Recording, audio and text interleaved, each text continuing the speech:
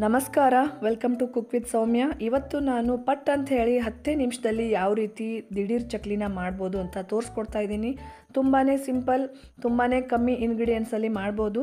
ಬನ್ನಿ ಹಾಗಾದರೆ ತಡ ಮಾಡೋದು ಬೇಡ, ಹೇಗೆ ಮಾಡೋದು, ಏನೇನು ಇಂಗ್ರೀಡಿಯೆಂಟ್ಸ್ ಬೇಕು ಅಂತ ನೋಡೋಣ. ಫಸ್ಟು ನಾನು ಕಾಲು ಗ್ಲಾಸಷ್ಟು ಉದ್ದಿನಬೇಳೆನ ಹುರ್ಕೊಳ್ತಾ ಇದ್ದೀನಿ. ಲೈಟಾಗೆ ಹುರ್ಕೋಬೇಕು. ತುಂಬ ಕಲರ್ ಚೇಂಜ್ ಆಗೋವರೆಗೂ ಹುರ್ಕೊಳ್ಳೋ ಅವಶ್ಯಕತೆ ಇಲ್ಲ. ನೋಡಿ. ಹಸಿ ವಾಸನೆ ಹೋಗೋವರೆಗೂ ಒಂದು ಐದರಿಂದ ಎಂಟು ನಿಮಿಷ ನಾನು ಹುರ್ಕೊಳ್ತಾ ಇದ್ದೀನಿ. ನೋಡಿ, ಇಷ್ಟು ಹುರ್ಕೊಂಡ್ರೆ ಸಾಕು. ಇದಕ್ಕಿಂತ ಹೆಚ್ಚು ಹುರ್ಕೊಂಡ್ಬಿಟ್ರೆ ಕಲರ್ ಚೇಂಜ್ ಆಗುತ್ತೆ ಮತ್ತು ಟೇಸ್ಟ್ ಕೂಡ ಚೆನ್ನಾಗಿ ಬರಲ್ಲ. ಸೊ, ಈಗ ನಾನು ಉದ್ದಿನ ಬೇಳೆ ತನಗಾಗೋಕೆ ಇಡ್ತಾ ಇದ್ದೀನಿ. ಅದಾದಮೇಲೆ ಒಂದು ಗ್ಲಾಸ್ ಅಕ್ಕಿ ಹಿಟ್ಟನ್ನು ನಾನು ಸಾನ್ಸ್ಕೊಳ್ತಾ ಇದ್ದೀನಿ. ಯಾವ ಗ್ಲಾಸಲ್ಲಿ ನಾನು ಉದ್ದಿನಬೇಳೆ ಮತ್ತು ಅಕ್ಕಿ ಹಿಟ್ಟನ್ನ ತೊಗೊಂಡಿದ್ನಲ್ಲ, ಅದೇ ಗ್ಲಾಸ್ ಅಳತೆಯಲ್ಲಿ ಕಾಲು ಗ್ಲಾಸು ಹುರಿಗಡಲೆನ ಚೆನ್ನಾಗಿ ಪೌಡ್ರ್ ಮಾಡ್ಕೊಂಡಿದ್ದೀನಿ. ಈಗ ಇದನ್ನು ಕೂಡ ನಾನು ಚೆನ್ನಾಗಿ ಸಾನ್ಸ್ಕೊಳ್ತಾ ಇದ್ದೀನಿ. ಇದರಲ್ಲಿ ಹುರಿಗಡಲೆ ಏನಾದರೂ ಉಳ್ಕೊಂಡ್ರೆ ಏನಾಗುತ್ತೆ ಅಂದರೆ ನಾವು ಚಕ್ಲಿ ಮಾಡಬೇಕಾದ್ರೆ ಚಕ್ಲಿ ಮನೇಲಿ ಸಿಕ್ಕಾಕೊಳ್ಳುತ್ತೆ. ಹಾಗಾಗಿ ನಾನು ಇದನ್ನು ಕೂಡ ಸಾನ್ಸ್ಕೊಳ್ತಾ ಇದ್ದೀನಿ. ಅದಾದಮೇಲೆ ಆಲ್ರೆಡಿ ಉದ್ದಿನಬೇಳೆ ಏನು ಹುರ್ಕೊಂಡಿದ್ನಲ್ಲ, ಅದನ್ನು ಕೂಡ ಚೆನ್ನಾಗಿ ಪೌಡ್ರ್ ಮಾಡ್ಕೊಳ್ತಾ ಇದ್ದೀನಿ. ಉದ್ದಿನ ಹಿಟ್ಟನ್ನು ಸೇರಿಸ್ಕೊಳ್ಳೋದ್ರಿಂದ ಒಳ್ಳೆ ಫ್ಲೇವರ್ ಬರುತ್ತೆ, ಒಳ್ಳೆ ಘಮ ಬರುತ್ತೆ ಚಕ್ಲಿಗೆ. ಹಾಗಾಗಿ ಇದನ್ನು ಕೂಡ ನಾನು ಸಾನ್ಸ್ಕೊಳ್ತಾ ಇದ್ದೀನಿ.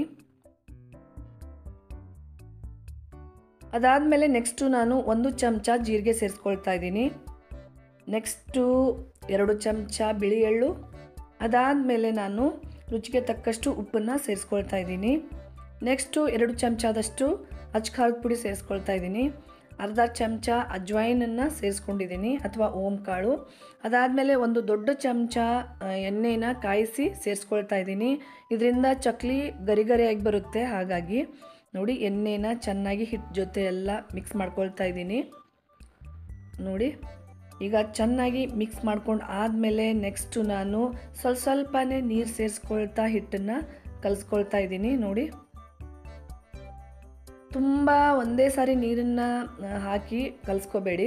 ಯಾಕಂದರೆ ತುಂಬ ಮೆತ್ತಗಾಗಿಬಿಟ್ರೆ ಚಕ್ಲಿ ಕ್ರಿಸ್ಪಿಯಾಗಿ ಬರಲ್ಲ. ಹಾಗಾಗಿ ಸ್ವಲ್ಪ ಸ್ವಲ್ಪನೇ ನೋಡಿಕೊಂಡು ತುಂಬ ಗಟ್ಟಿನೂ ಅಲ್ಲ, ತುಂಬ ಮೆತ್ತಗೇನೂ ಅಲ್ಲ. ಆ ಹದದಲ್ಲಿ ನಾನು ಚಕ್ಲಿ ಹಿಟ್ಟನ್ನು ಕಲಿಸ್ಕೊಂಡಿದ್ದೀನಿ ಚಕ್ಲಿ ಹಿಟ್ಟನ್ನು ನೆನೆಸ್ಕೊಳ್ಳೋ ಅವಶ್ಯಕತೆ ಇಲ್ಲ. ಆವಾಗಲೇ ಕಲಸಿ ಆವಾಗಲೇ ಮಾಡಬೇಕು. ನೋಡಿ, ಈಗ ನಾನು ಚಕ್ಲಿ ಮಾಡೋಕ್ಕೆ ಚಕ್ಲಿ ಮನೆಗೆ ಎಣ್ಣೆ ಹಾಕಿ ಎಲ್ಲ ಕಡೆ ಹಚ್ತಾ ಇದ್ದೀನಿ. ಇಲ್ಲ ಅಂದರೆ ಹಿಟ್ಟೆಲ್ಲ ಚಕ್ಲಿ ಮನೆಗೆ ಅಂಟ್ಕೊಂಡ್ಬಿಡುತ್ತೆ. ಈಗ ಚಕ್ಲಿ ಮನೆಗೆ ಎಷ್ಟು ಹಿಡಿಯುತ್ತಲ್ಲ ಅಷ್ಟು ಹಿಟ್ಟನ್ನು ಸೇರಿಸ್ಕೊಳ್ತಾ ಇದ್ದೀನಿ. ನಾನು ಜಸ್ಟ್ ಒಂದು ಗ್ಲಾಸ್ ಅಕ್ಕಿ ಹಿಟ್ಟು ಅಳತೆಯಲ್ಲಿ ತೋರಿಸಿದ್ದೀನಿ ನಿಮಗೆ ಎರಡು ಗ್ಲಾಸ್ ಅಳತೆಯಲ್ಲಿ ಚಕ್ಲಿ ಬೇಕು ಅಂದರೆ ನೀವು ಇದೇ ಕ್ವಾಂಟಿಟಿನ ಡಬಲ್ ಮಾಡಿ ಚಕ್ಲಿ ಹಿಟ್ಟನ್ನು ಕಲಿಸ್ಕೋಬೋದು. ಈಗ ನೋಡಿ, ನಾನು ಒಂದು ಶೀಟ್ ಮೇಲೆ ಚಕ್ಲಿನ ಮಾಡಿ ಇಟ್ಕೊಳ್ತಾ ಇದ್ದೀನಿ ನೀವು ಬೇಕು ಅಂದರೆ ಇದಕ್ಕಿಂತ ದೊಡ್ಡ ಸೈಜಲ್ಲೂ ಚಕ್ಲಿನ ಮಾಡ್ಕೋಬೋದು, ಇದಕ್ಕಿಂತ ಚಿಕ್ಕ ಸೈಜಲ್ಲೂ ಕೂಡ ಚಕ್ಲಿನ ಮಾಡ್ಕೋಬೋದು. ನಮ್ಮ ಮನೇಲಿ ಸ್ವಲ್ಪ ದೊಡ್ಡ ಸೈಜಲ್ಲೇ ಇಷ್ಟಪಡ್ತಾರೆ ಮಕ್ಕಳೆಲ್ಲ, ಹಾಗಾಗಿ ಈ ಅಳತೆಯಲ್ಲಿ ಮಾಡ್ಕೊಂಡಿದ್ದೀನಿ. ನೀವು ಇದಕ್ಕಿಂತ ಚಿಕ್ಕ ಸೈಜಲ್ಲೂ ಮಾಡ್ಕೋಬೋದು. ಮತ್ತು ನಾವು ಹದಿನೈದು ದಿನಗಂಟ್ಲೆ ಒಂದು ಡಬ್ಬಾದಲ್ಲಿ ಹಾಕಿಟ್ರೆ ಹಾಗೇ ಇರುತ್ತೆ ಚಕ್ಲಿ. ಮತ್ತು ಗೆಸ್ಟ್ ಬಂದಾಗ ದಿಢೀರ್ ಅಂಥೇಳಿ ಈ ಸ್ನ್ಯಾಕ್ನ ಮಾಡಿಕೊಡ್ಬೋದು. ಇಲ್ಲಾಂದರೆ ಸಂಜೆ ಟೀ ಟೈಮ್ ಕೂಡ ತುಂಬ ಚೆನ್ನಾಗಿರುತ್ತೆ ಈ ಚಕ್ಲಿ. ತುಂಬ ಟೈಮ್ ಕೂಡ ಬೇಕಾಗೋದಿಲ್ಲ. ಆರಾಮಾಗಿ ಒಂದು ಹತ್ತು ನಿಮಿಷದಲ್ಲೇ ಮಾಡ್ಕೊಂಬಿಡ್ಬೋದು ಎಲ್ಲರ ಮನೇಲಿ ಅಕ್ಕಿ ಹಿಟ್ಟು ಕಾಮನ್ ಆಗಿದ್ದೇ ಇರುತ್ತೆ. ಪಟ್ ಅಂಥೇಳಿ ಈ ಸ್ನ್ಯಾಕ್ನ ಮಾಡ್ಕೊಂಬಿಡ್ಬೋದು. ಜೊತೆಗೆ ಹಬ್ಬ ಹರಿದಿನಗಳಲ್ಲೂ ಕೂಡ ಈ ಚಕ್ಲಿನ ನೀವು ಟ್ರೈ ಮಾಡ್ಬೋದು. ಸೊ ಈಗ ಫೈನಲ್ಲಾಗಿ ಒಂದು ಆರು ಚಕ್ಲಿನ ನಾನು ಮಾಡ್ಕೊಂಡು ಇಟ್ಕೊಂಡಿದ್ದೀನಿ. ಎಣ್ಣೆ ಆಲ್ರೆಡಿ ಕಾಯೋಕ್ಕಿಟ್ಟಿದ್ದೆ ನೋಡಿ. ಪೂರ್ತಿ ಎಣ್ಣೆ ಕಾದಿರಬೇಕು ಬಟ್ ಮೀಡಿಯಮ್ ಉರಿಲಿ ಚಕ್ಲಿನ ನಾವು ಫ್ರೈ ಮಾಡ್ಕೋಬೇಕು.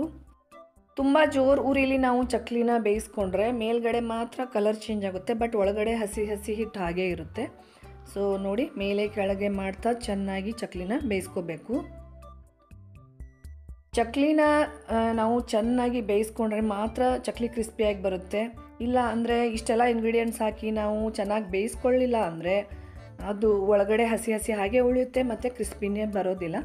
ಸೊ ಫೈನಲಾಗಿ ನಮ್ಮ ಗರಿ ಗರಿಯಾದ ಚಕ್ಲಿ ರೆಡಿ ಆಗ್ತಾ ಇದೆ. ತುಂಬ ಕಲರ್ ಚೇಂಜ್ ಆಗುವ ಅವಶ್ಯಕತೆ ಇಲ್ಲ.